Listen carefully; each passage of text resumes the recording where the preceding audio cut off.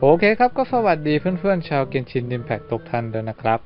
สำหรับวันนี้เนี่ยผมก็จะมาสอนทำ quest ตามหาของสักการะที่ต้องนำไปถวายหน้าอนุสรณ์หินนะ เป็น quest โลกที่ไม่ยากแล้วก็ไม่ง่ายจนเกินไป มันจะมีจุดที่ทำให้เราปวดหัวด้วยนี่แหละ โอเคมาเพื่อไม่ให้เป็นการเสียเวลาเราไปเริ่มกันเลยดีกว่า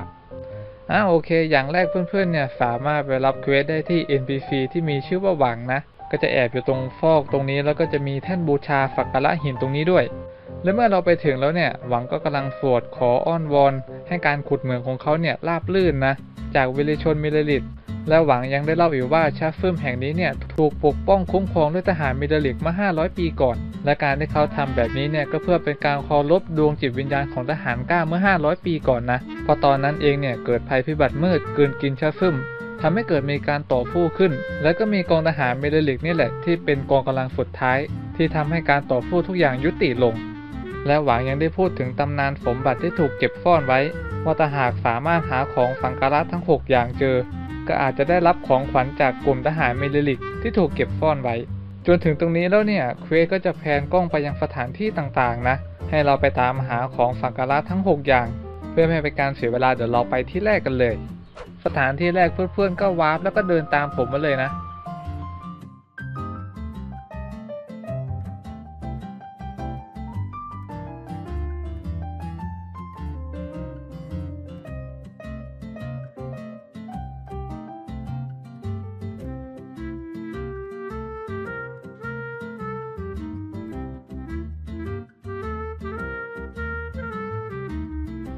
อ่า เป็นอันเรียบร้อยได้แล้วนะชิ้นหนึ่งเป็นหอก เดี๋ยวเราไปจุดที่สองกันเลยแล้วกัน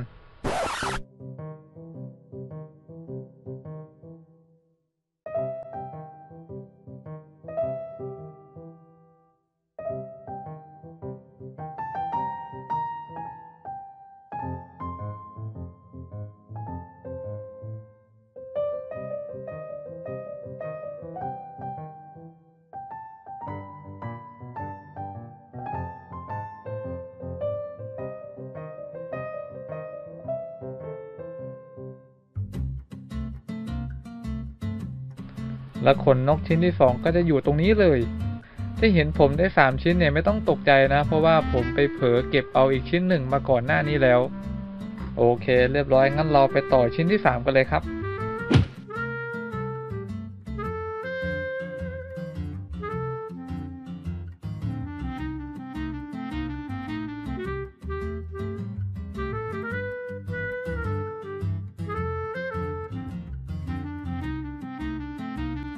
พอเราเคลียร์มอนเสร็จแล้วเนี่ยก็สามารถเก็บได้เลย ส่วนจุดต่อไปเนี่ยเราจจะต้องปีนฝูงกันนิดหนึ่งนะ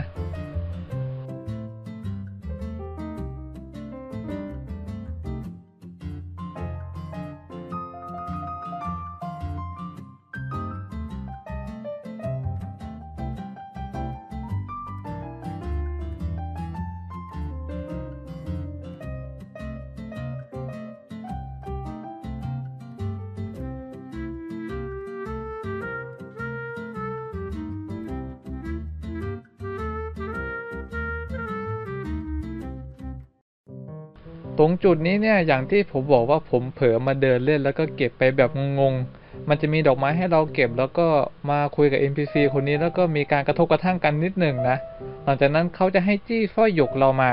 ก็เป็นอันว่าได้ไปอีกชิ้นหนึ่ง โอเค ไปจุดต่อไปกันเลย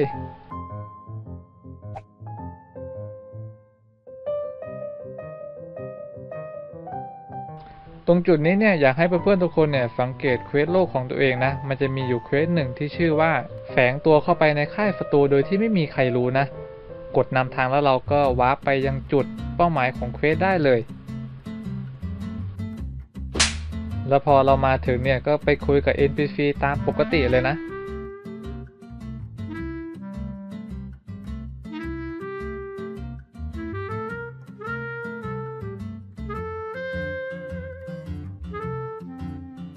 หลังจากที่เราคุยเสร็จแล้วเนี่ยก็ให้เพื่อนๆเดินตามผมมาเลย หรือใครจะมาร์กจุดไว้แล้วค่อยวิ่งก็ได้นะ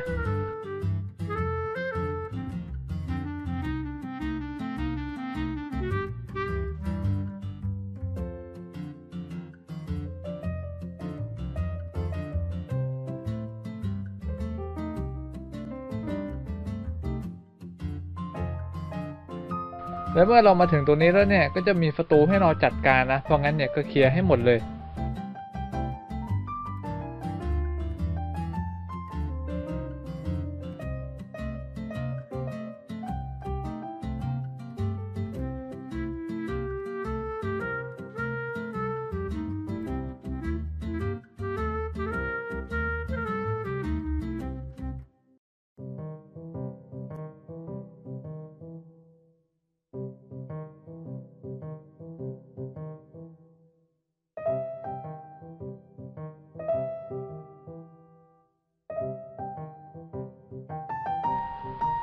อ่าโอเค เป็นอันเรียบร้อย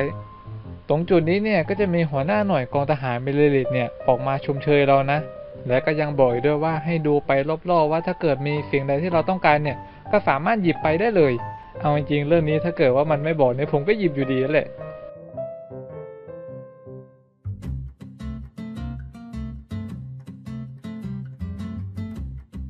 และตรงจุดนี้เนี่ยเราก็จะได้ถ้วยแห่งสามัญมานะ เหลือเพียงแค่ชิ้นเดียวเท่านั้น แล้วเราก็วาร์ปไปจุดสุดท้ายกันเลย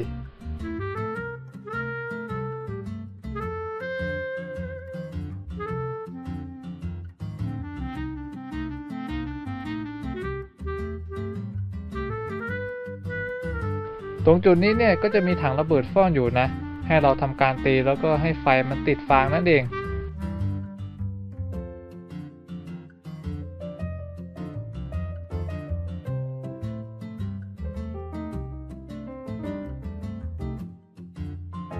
ทีนี้เราก็ได้หมวกพิทักษ์มาแล้ว หลังจากที่เรารวบรวมครบแล้วเนี่ยเควสก็จะให้เราไปถวายของสักการะที่หน้าอนุสรหินนะ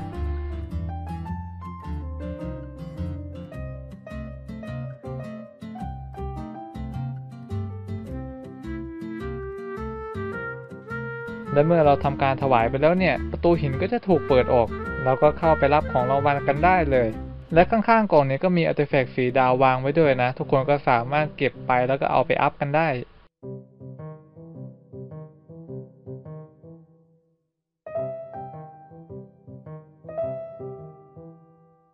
และเมื่อเราเก็บของเป็นที่เรียบร้อยเสร็จแล้วเนี่ยเราก็มารายงานหวังนะ ก็เป็นอันว่าจบ quest เป็นที่เรียบร้อยแล้ว